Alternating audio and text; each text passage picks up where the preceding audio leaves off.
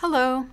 My name is Daisy Christensen, and I'm an epidemiologist at the National Center on Birth Defects and Developmental Disabilities at the Centers for Disease Control and Prevention. For almost 15 years, we have been tracking the number and characteristics of school-aged children with autism spectrum disorder, or ASD, through CDC's Autism and Developmental Disabilities Monitoring, or ADDM network. A growing body of research tells us that the earlier a child is identified with autism spectrum disorder and connected to services, the greater the benefit of the intervention will be to that child. We wanted to understand more about children who are identified with ASD at younger ages to help inform early identification efforts. To learn more, we conducted a pilot project known as Early ADDM. Through this pilot project, we reviewed school and health records to examine the characteristics of preschool age children, specifically four year olds, with ASD in five communities across the United States. We also compared the four year old children to school age children, specifically eight year olds, with ASD in those same five communities.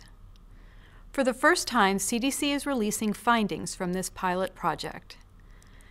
These new data tell us several things. First, the prevalence of ASD was about 30% lower among preschool aged children compared with school aged children living in the same areas. We know from our tracking of ASD among school aged children that many children with ASD are not identified until after age 4 or 5. So we expect that ASD prevalence in this group of preschool aged children will increase as they get older.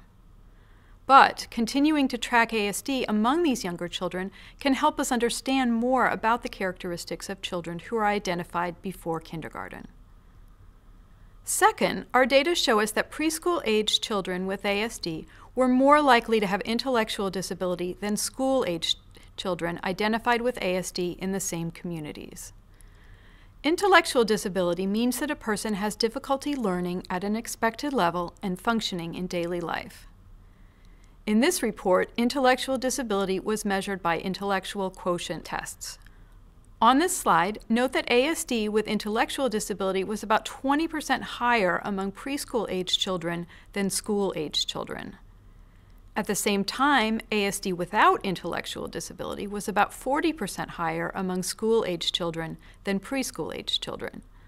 It may be that children who have more severe ASD related behaviors or who have other conditions like intellectual disability are more likely to be evaluated at a younger age.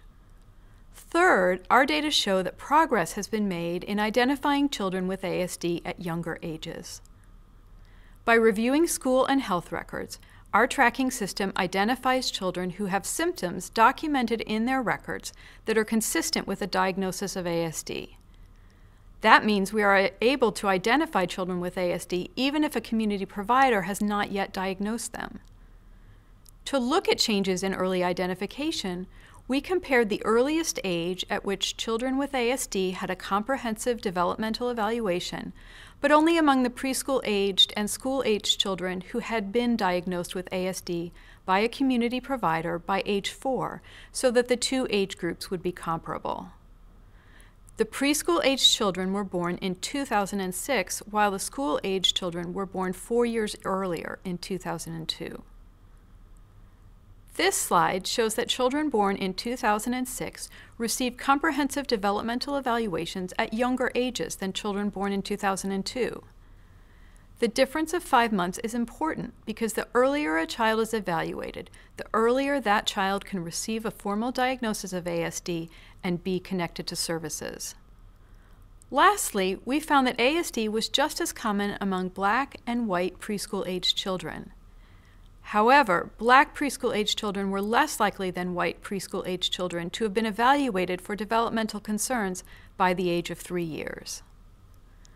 The data from our pilot project indicate that some progress has been made in identifying children with ASD at a younger age, but more tracking and research is needed to understand why certain groups of children are not being identified as early as others. CDC plans to continue tracking preschool-aged children with ASD and follow up with them when they are school-aged to understand more about changes in the number and characteristics of children with ASD as they grow. We urge those working with young children in these five communities and in communities across the country to use this new information to help ensure that all children with ASD are identified and connected to services as soon as possible. Healthcare professionals, child care providers, and educators, you can help follow a child's development and encourage parents to do the same by looking for developmental milestones. That is, how a child plays, learns, speaks, acts, and moves. We encourage you to visit www.cdc.gov backslash act early for free milestone checklists and other resources to help you track a child's development and share with families that you work with. Thank you for watching this video abstract. We hope you will read the full article and continue this important conversation about the early identification of children with ASD.